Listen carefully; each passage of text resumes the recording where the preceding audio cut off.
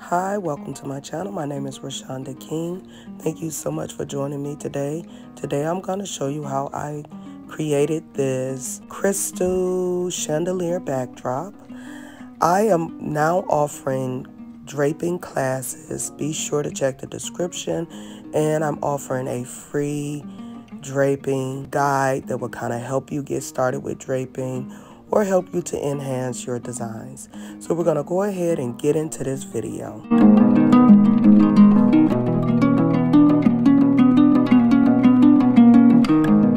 Here is the crystal chandelier. I got it from Amazon and I'm just adding a chain to it. It had three connection points. So that's what I'm showing you here.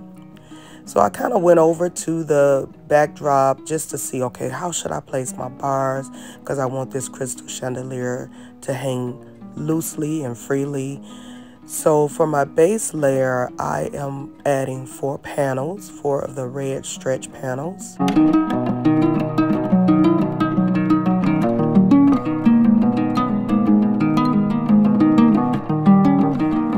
On this pole, I'm putting on the rose gold two panels of that and then I'm adding some red around it.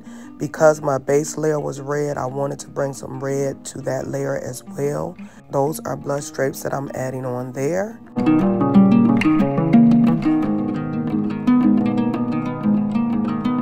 I'm measuring to make sure my colors are even. You just want to make sure the one half of the drape is the same measurements as the other half of the drapes.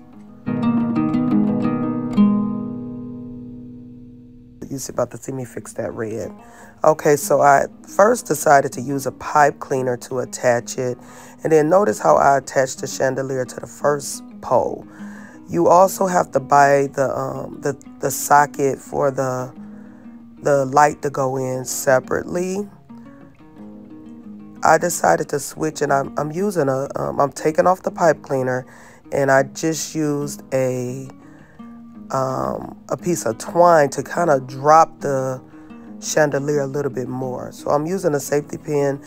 At first I thought I was going to use this Dusty Rose 30 foot panel as my um, as my valance and my pole cover, but I didn't like the way that Dusty Rose looked with red. Now, the Dusty Rose works well with that blush color, but I don't like it with red. So you're going to see me use this again, but I'm going to use it with burgundy. I think it pairs better with burgundy. Now, also when you're doing, using, or you're doing a valance, you want to make sure it's flat. You want to make sure it's directly against the uprights. And this is not because I tried to put the, the um, chandelier on the first pole. So it was causing the um, pole covers not to even cover the poles. So um, I took that off. So I'm getting ready to switch and move the chandelier to the middle and then bring my um, panels to the front. Then I'm pinning because I don't want the, the, the twine that I connected to the chandelier to be visible. Even the um, chains won't be visible. So I'm putting on my pole covers.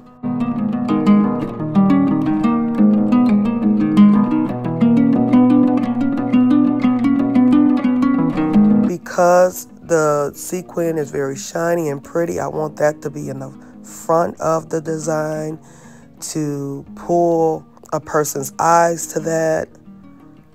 So that's why I'm pulling that one to the front. Now I'm standing in the middle and I'm, I'm creating like a V shape with those two red panels. So I'm keeping them straight up and down and creating a V shape. Um, for that blush panel, notice how I gave it some swag. And then for this second blush panel, I gave it even more swag. I'm going to do the same thing to the other side. Give it some swag for the first panel.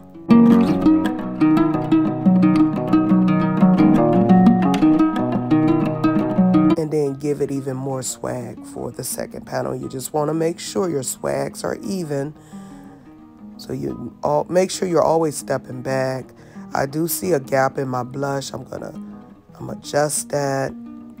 And I use I use pipe cleaners to secure the, the fabric.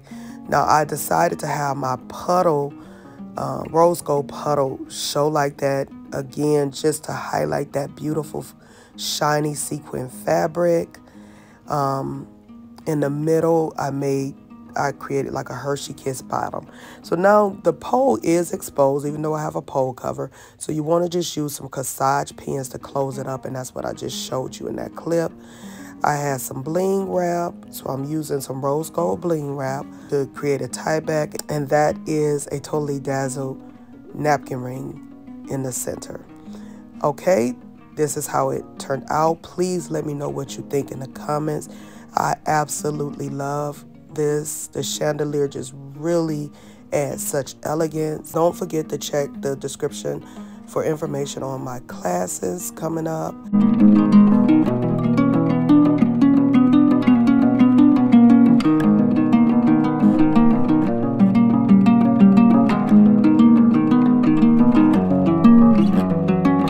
Like, share, and subscribe to my channel.